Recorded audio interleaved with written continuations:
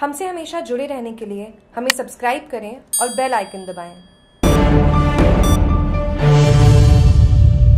Sanderao police द्वारा अवैध रूप से डोडा परिवहन करते वक्त दुर्घटनाग्रस्त स्कॉर्पियो कार से तीन सौ सतासी किलो डोडा चूरा, एक अवैध हथियार में पाँच कारतूस बरामद किए पाली जिला पुलिस अधीक्षक कालू राम रावत ने बताया कि मंगलवार देर रात्रि एक बजकर तीस मिनट पर गोपनीय सूचना मिली कि एक संदिग्ध वाहन सुमेरपुर से सांडेराव की तरफ़ तेज गति से जा रहा है एवं उसमें अवैध डोरा चूरा परिवहन किया जा रहा है।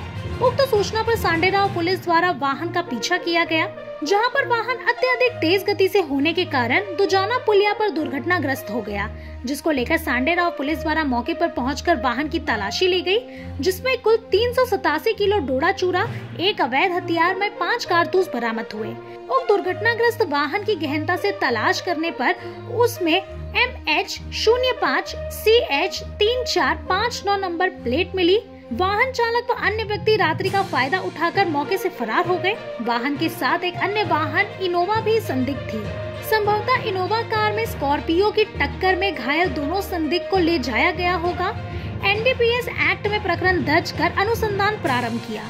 जागरूक टीवी की सुमेरपुर से तरुण रावल की रिपोर्ट।